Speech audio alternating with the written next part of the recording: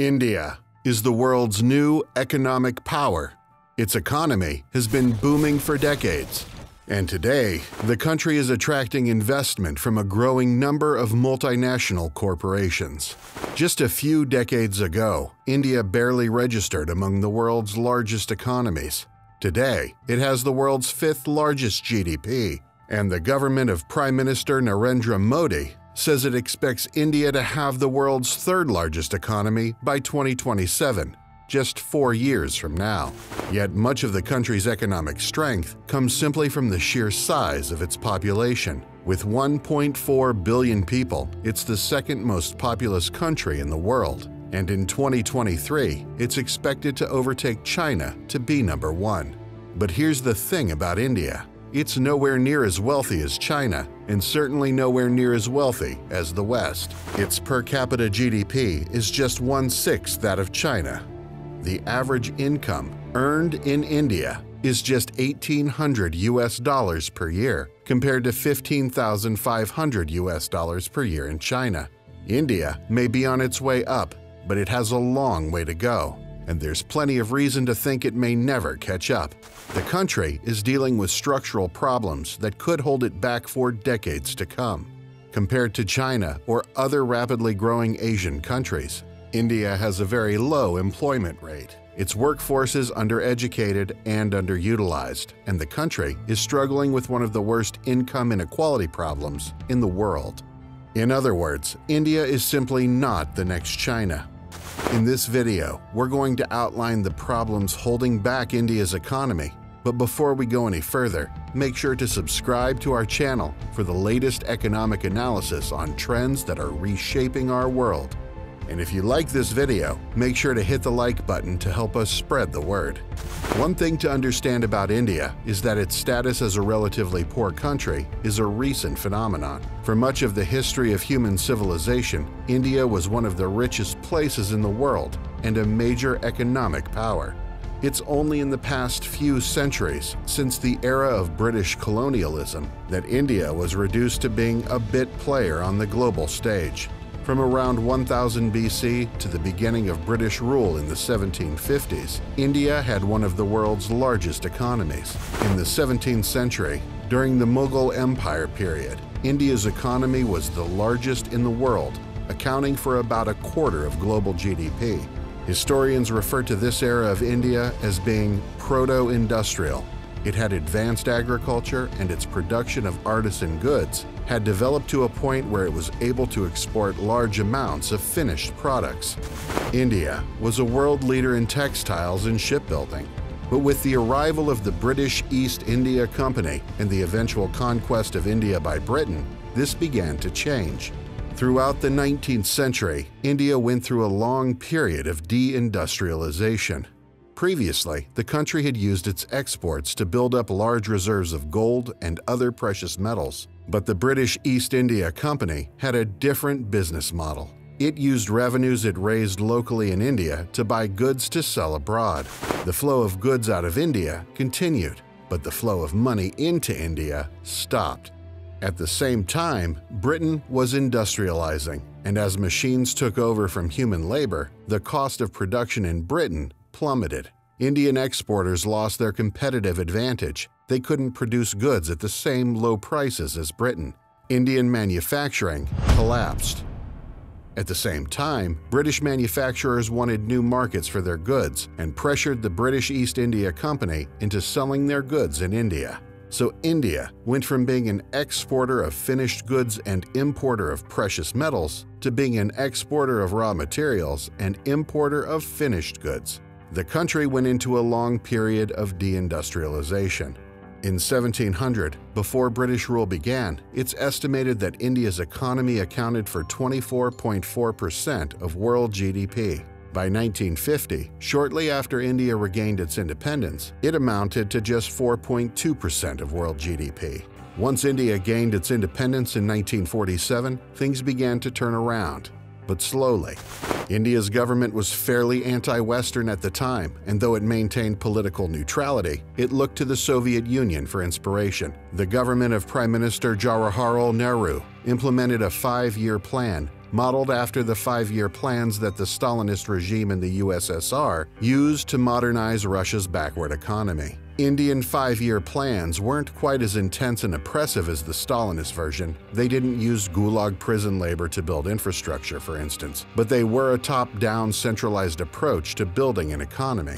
Despite what many people would expect, the five-year plan and a whole series of similar five-year plans that came after it succeeded to an extent. The country completed large infrastructure projects like dams and roads, opened scientific and technical institutions, and developed something approaching a modern military. But India remained mired in poverty. For one thing, its population was growing extremely rapidly, and the five-year plans couldn't keep up. Also, India's military spending was enormous, equivalent to a quarter of its GDP. This was due primarily to its ongoing conflict with Pakistan. Its economy didn't grow nearly as quickly as some other Asian countries. Compared to South Korea or Thailand or Iran, India was a laggard. For decades during this period, the country ran a large trade deficit with the world and large budget deficits at home. Since very few foreign investors wanted to buy Indian debt, the central bank had to print money, leading to persistent inflation. By the early 1990s, the trade and budget deficits had become unsustainable, and India was forced to take a bailout from the International Monetary Fund, which came with conditions. The country would have to give up its planned centralized economy and move towards market reforms. Those market reforms were painful at first, but as they moved forward, India's economy began to transform for the better. Over the space of two decades, starting in the mid-1990s, India's per capita GDP grew by 142%. The country urbanized rapidly and became a major global player in the steel industry. By the mid-2000s, India's Arcelor Mittal was the world's largest steelmaker, since then, the country has become a major player in the auto industry, textiles, information technology, and banking and insurance. But that economic boom has been very uneven.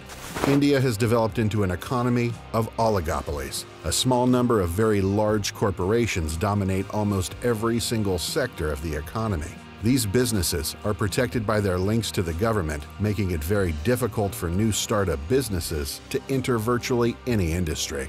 This has led to extreme income inequality. A recent Oxfam report found that 1% of India's population controls more than 40% of its wealth, while the bottom half of the population has just 3% of the country's wealth. But when it comes to taxes, the situation is the exact reverse. The bottom half of the population pays 64% of the money collected from India's goods and services tax, while the top 10% of the wealth pyramid pay just 4%. This burdening of the poor through taxes doesn't just hold people back, it holds the government back too. With such a small tax base, India hasn't been able to keep up with the development of modern infrastructure. Here's one clear example of the problem. Transportation infrastructure is so poor that 40% of the country's fruit rots before it reaches the market. These kinds of inefficiencies that drain the country's economic potential can be seen everywhere. But there is one problem holding India back above all others, and that problem can be summed up in a single word labor. Although India's unemployment rate sits at around 7 or 8 percent, its youth unemployment rate is around 40%. This makes a huge difference in India because it has a very young population. Half the people in India are below the age of 25. What this means is that, overall, a very small share of the population is actually economically active, the country's labor force participation rate is just 40%, and that's actually down from around 46% prior to the COVID-19 pandemic. By comparison, the participation rate in the United States is above 62%. Faced with chronically poor job prospects, many young Indians choose to stay on the family farms that have been the default way of living in India for centuries. This is subsistence farming, they produce just enough to eat and to buy basic goods like clothing and farm equipment. It adds very little to India's economy. about 51% of the population is involved in farming, but the sector accounts for only 17% of the country's GDP. Women are also far behind in India compared to most other Asian countries. According to World Bank data, only 19% of women in India have a job, and that's down over the past decade from 26%. This is far below the participation rate for women in China at 65% and the 75% seen in Vietnam. If women were in the labor force at the same rate as men, India would have 235 million more workers than it does today. To give you an idea of how much that is, it's 50% larger than the entire US labor force. India simply isn't building its human capital nearly as well as it should be. Part of that comes down to its education system. The country spends less on education than almost any other Asian country, about 3.1% of GDP, compared to 4.8% globally and 5.7% in East Asia. Countries like China, Korea, and even Iran spend far more educating their workforce than India does. And the quality of that education is low. Surveys show that many employers consider the country's job training programs and university degrees to be worthless. They say about half the people they hire out of school don't actually have the qualifications their diploma says they do. For India to keep growing its wealth, it will have to significantly overhaul its education system, and that can't just be done overnight. The government of Narendra Modi is taking steps to address this problem, but those steps may not be large enough, or the right ones, to address the problem. The central government is planning to hire 1 million new employees in order to increase the employment rate, but that plan hardly helps in the development of a strong private sector economy. And the government is also developing a program to enlist men into the Army for four years, which it says will create a trained and disciplined labor force for the country. But that plan does nothing to address the lack of women in the country's workforce. India's labor problems could become far worse in the years to come.